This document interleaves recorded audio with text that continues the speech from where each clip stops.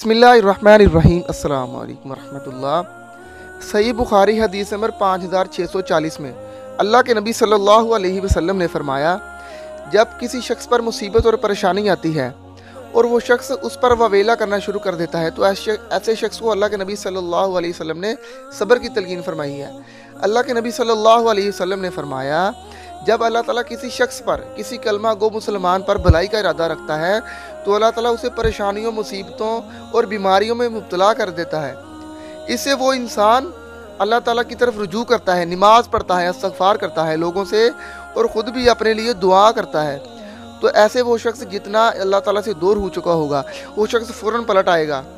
جو اللہ کے نبی صلی اللہ علیہ وسلم نے اپنا اللہ الہ الا اللہ صحابہ کو جو دین اسلام شریعت دیے تھی، وہ اس پر فوراً مسلمان ہونے کی طرف آ جاتا ہے۔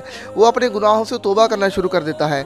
تو ایسے شخص جس پر مصیبتیں، پریشانیاں، آفات، بیماریاں نازل ہو جائیں، تو اسے چاہیے وہ صبر کرے۔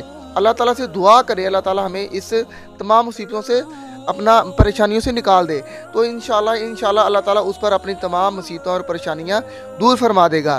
اس سے اللہ تعالیٰ خوش ہوتا ہے کہ بندہ مجھ سے دعا کرے، بندہ مجھ سے استغفار کی طلب کرے۔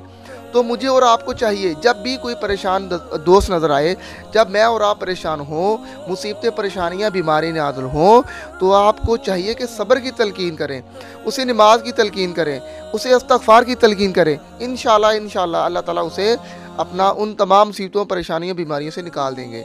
مجھے اور آپ کو اللہ تعالیٰ اس پر عمل کرنے کی توفیق عطا فرمائے۔ والسلام ورحمۃ اللہ وبرکاتہ۔